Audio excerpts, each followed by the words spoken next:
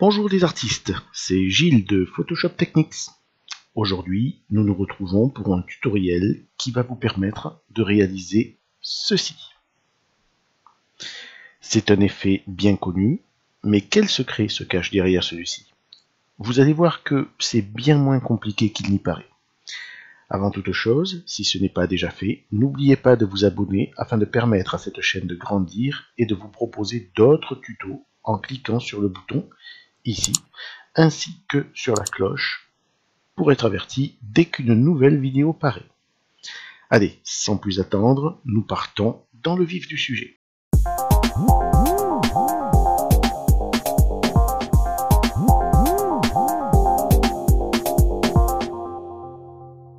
Donc on se retrouve dans Photoshop avec cette photo d'une route dans un désert américain. Je vous mettrai bien sûr, comme souvent, le lien dans la description afin que vous puissiez le télécharger. Allez, c'est parti donc. Avec le rectangle de sélection, on va commencer par tracer une sélection comme ceci. On va se placer juste au-dessus du premier trait jaune. Comme ceci on duplique le calque par CTRL-J, puis on va le transformer en faisant un CTRL-T et en utilisant perspective. Donc, clic droit et perspective. Puis en appuyant sur la touche Alt, nous allons tirer la poignée de droite ou de gauche jusqu'à ce que les lignes blanches deviennent verticales. Voilà. C'est pas mal comme ceci. On applique la transformation. Puis avec l'outil de recadrage, ici, on va rétrécir la route à gauche, à droite, en bas et en haut. Pour ma part, je vais placer l'endroit où est assise la fille sur la ligne des tiers, sur la ligne de force, au tiers de l'image. J'applique la transformation. Puis nous appliquons sur ce calque un effet de dégradé. Donc, double-clic sur la vignette, on fait apparaître la fenêtre style de calque, nous allons cliquer sur incrustation en dégradé.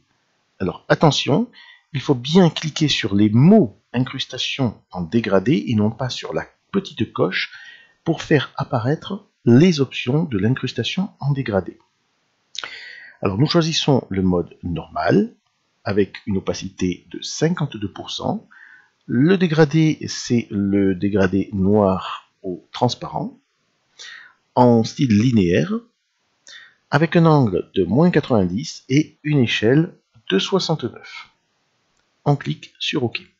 Nous pouvons faire un avant-après en cliquant sur le petit œil à côté d'incrustation de dégradé. Avant, après. Alors, maintenant, nous allons créer au-dessus de ce calque un nouveau calque.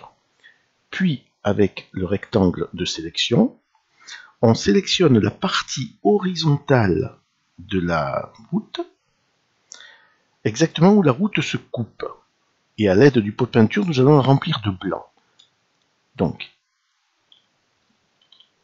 comme ceci. Voilà. On vient jusqu'ici, pas plus. On choisit la couleur blanc et avec le pot de peinture, nous la remplissons de blanc. Nous réduisons l'opacité de ce calque à 20%. On se rapproche afin de voir les pixels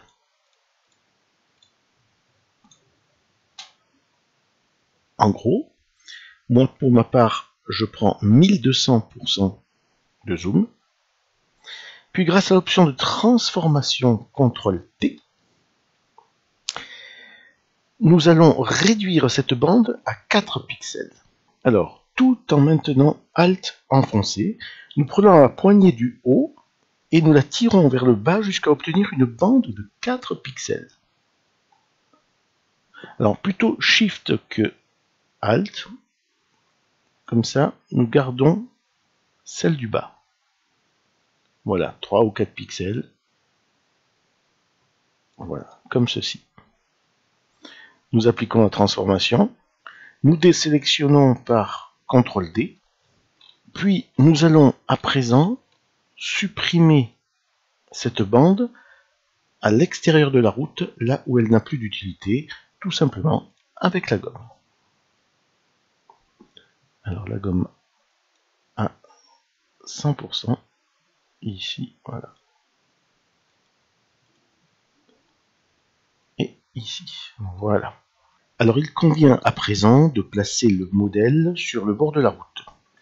Afin que ce tutoriel ne soit pas trop long, je l'ai déjà détouré, mais grâce à mes précédents tutos, vous devez maintenant savoir comment faire. Alors aujourd'hui, je vais vous montrer une méthode nouvelle pour poser un calque sur un autre fichier. Donc après avoir ouvert le fichier modèle PSD que j'ai détouré, nous faisons un clic droit sur le calque correspondant, c'est-à-dire celui-ci. Ça, c'est l'arrière-plan, non détouré. Ici, c'est le modèle détouré. On voit d'ailleurs le masque de fusion. Donc, on fait un clic droit sur le calque correspondant et je choisis dupliquer le calque. Je peux l'appeler par le nom que je décide, modèle par exemple, et en destination, je vais choisir le fichier sur lequel j'effectue mon, travail, ma composition. Ici, c'est il s'agit de route JPEG. Je clique sur OK. Nous retournons sur le fichier route JPG et nous pouvons voir que le calque modèle est bien apparu ici avec son nom en haut de la palette des calques. Il apparaît également avec son masque de fusion. Je ne le désire plus à ce stade. Je fais donc un clic droit sur le masque de fusion et je choisis appliquer le masque de fusion. Je me retrouve donc avec juste le modèle. Maintenant, nous réduisons par CTRL T la taille du modèle pour l'adapter à l'image.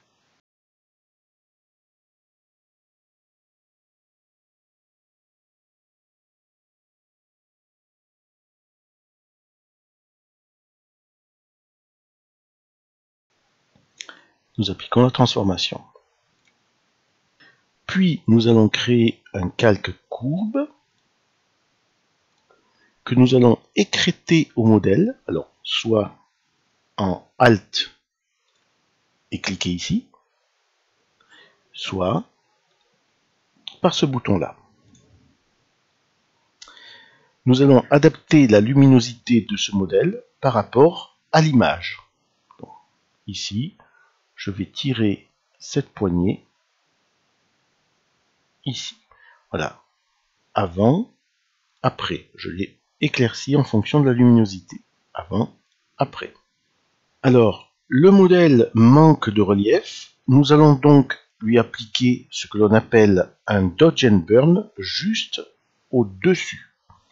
Donc, nous créons un calque nouveau, écrété également au calque modèle, que nous remplissons de gris à 50%, gris 50%, ok, et que nous passons en mode incrustation. Maintenant, avec l'outil densité moins, nous allons éclaircir les zones exposées à la lumière. Et avec l'outil densité plus, nous allons assombrir les zones exposées à la lumière. Ce n'est pas plus compliqué que cela. On se rapproche. Outil densité moins pour augmenter la luminosité avec une densité peut-être oui, qu'on va laisser à zéro pour l'instant. Voilà. Ici, sur les brins.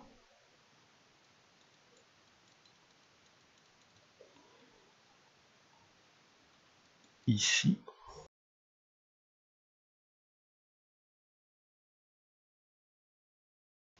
Alors, on ne risque pas de passer sur la route puisque l'on a écrété ce calque au modèle. Donc, on ne peut toucher que le modèle.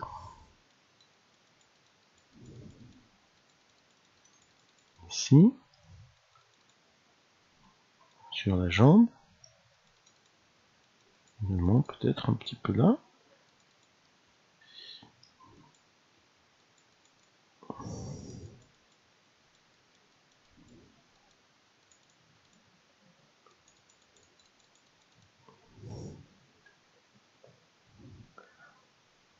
Avant, après. Ça a l'air pas mal.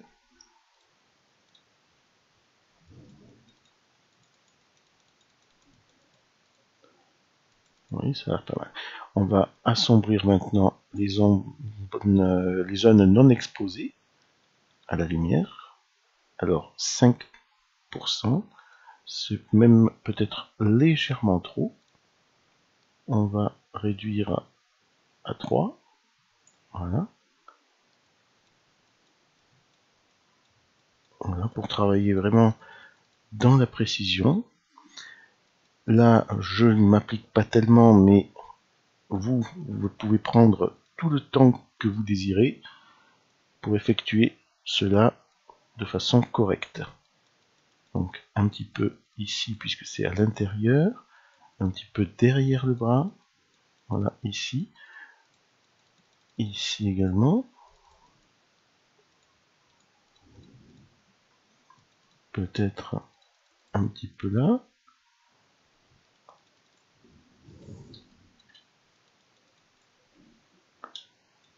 Voilà, je pense que c'est pas mal. De ce côté-là. Voilà, je crois qu'on est pas mal. On est pas mal comme ça. On va voir un avant-après. Oui, c'est pas mal. Si vous voyez que c'est un petit peu trop, vous pouvez toujours baisser un petit peu la luminosité, enfin l'opacité, je veux dire. Voilà, par exemple 80.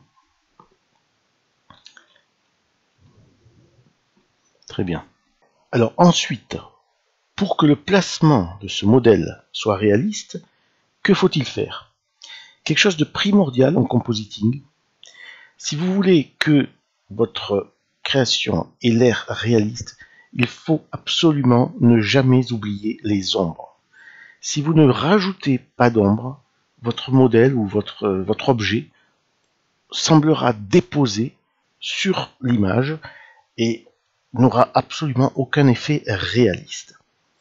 Donc, nous allons rajouter un calque ombre en dessous du calque modèle. Donc nous plaçons le, curseur ici, en dessous le calque modèle, et nous rajoutons un calque que nous allons appeler ombre. Nous allons prendre une brosse, alors une brosse noire bien sûr, bien sûr avec une dureté de 17, oui c'est très bien,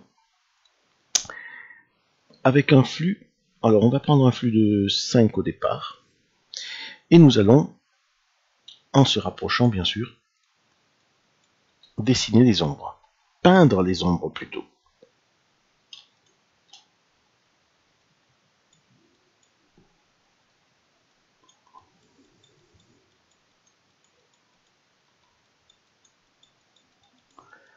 Alors ça c'est quelque chose qui prend quand même pas mal de temps si vous voulez vous appliquer. Il faut y aller doucement. Imaginez ce que peuvent être les ombres avec la direction de la lumière. Ici, vous voyez, c'est forcément une ombre très foncée, puisque l'on est à l'intérieur, comme ici. Voilà. Ici, on est bien foncé en nombre de contacts et on part vers quelque chose de plus diffus ensuite. Pareil ici, en nombre de contacts, on est bien foncé. Ensuite, ici, on sera plus diffus, avec peut-être un peu plus foncé au niveau du contact, mais on va être quand même beaucoup plus diffus. Voilà. Ici également. N'hésitez pas à corriger si vous pensez que vous avez fait une erreur avec la gomme.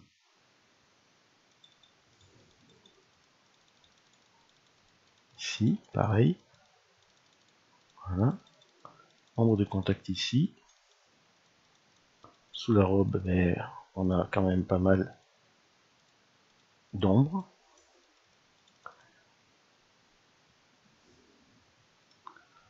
Je pense qu'on est voilà, on commence à être pas mal.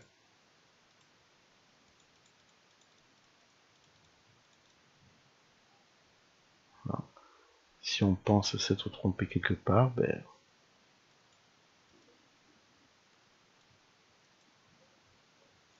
on corrige. La gomme est à prendre une opacité de gomme quand même moins importante plutôt que celle que j'ai pris. Il n'en faut pas ici, il n'en faut pas là. Voilà. Je pense qu'on est pas mal. Peut-être un petit peu plus ici. Voilà, l'ombre de la main. Voilà. On va voir ce que ça donne en avant-après.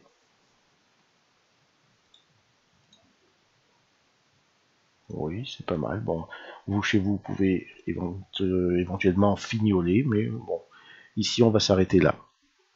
Enfin, pour rehausser l'ensemble, nous allons faire un calque regroupant tout le travail au-dessus, c'est-à-dire un merge de tous les calques, c'est-à-dire un groupement de tous les calques avec la commande CTRL plus ALT plus SHIFT plus E. Alors, CTRL plus ALT plus SHIFT plus E. Alors je l'ai placé au mauvais endroit, vous avez vu, alors, je vais refaire. Vous avez vu que là, il faut que je me place tout en haut. CTRL, ALT, SHIFT, E. Voilà, ça regroupe toute l'image des calques d'en dessous sur un seul calque au-dessus. On passe ce calque en objet dynamique pour pouvoir le modifier au cas où plus tard. Et là, ben, tout simplement, on va y adjoindre un filtre caméra raw. Alors, je vous ai mis dans la description le fichier route90.xmp qui contient tous les réglages effectués sous caméra RAW pour cette image, tous les réglages que j'ai effectués, hein, bien sûr. Vous pouvez vous amuser à les regarder et ou à les modifier à votre guise. Pour les charger, c'est simple, vous allez sur ce petit menu hamburger, vous cliquez, vous cliquez sur charger les paramètres, vous allez chercher là où vous avez euh, mis votre dossier, forcément votre petit fichier euh, dont vous avez téléchargé, euh, que vous avez téléchargé dans la description. Vous cliquez sur route 90, donc vous ouvrez et boum, automatiquement le fichier prend l'aspect des caractéristiques de tous les menus que j'ai corrigés. Alors vous pouvez voir ici que j'ai mis une température de 11, une teinte à 14. vous regarderez par vous-même la netteté avec un masquage à 89, vous voyez. Voilà. Euh, sinon, j'ai fait des quelques petites corrections de luminance et de teinte. Voilà. Euh, un virage partiel. Euh, rien à ce niveau-là. Un petit, vignettage et un petit étalonnage. Voilà. Tout simplement je valide par OK. Et on retrouve, boum, le fichier final. Voilà. Nous avons terminé notre image et notre modèle n'a aucunement le vertige. Ce tutoriel est à présent terminé, j'espère qu'il vous aura plu et que vous prendrez du plaisir à créer cette image autant que j'en ai eu à vous présenter ma méthode. N'hésitez pas à me poser vos questions ou à me laisser des commentaires. Il ne me reste plus qu'à vous souhaiter une bonne journée et à vous retrouver très bientôt pour de nouvelles aventures artistiques. Salut